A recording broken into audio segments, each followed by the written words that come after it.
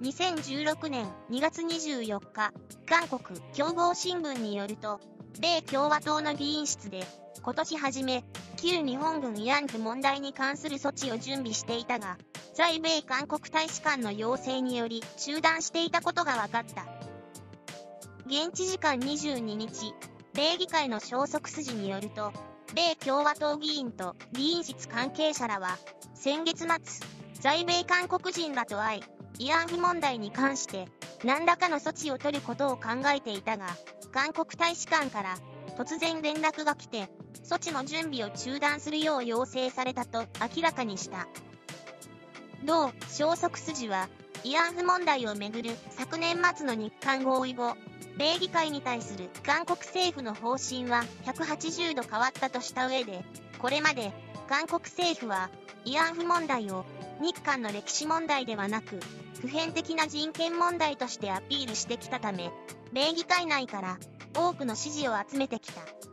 しかし、日韓合意を理由に、この問題をこれ以上提起しないのなら、これまで強調してきた普遍的人権の話はどうなってしまうのかと指摘した。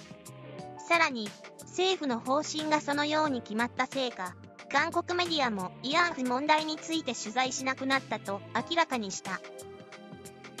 これについて、韓国のネットユーザーは、敵は常に内部にいる。韓国政府は本当に国を売ってしまったのか？韓国政府は誰のために働いているんだ？なぜ、米議員の邪魔をする？国益のためには、いっそのこと、米議員を韓国の大統領に迎えた方が良さそう。ドクと日本名竹島も日本の土地になってしまうだろう。そしてその次は合意したら守るのが礼儀。韓国政府はよくやっている。米議員の主張に耳を傾ける必要はない。我々はパク大統領についていけばいい。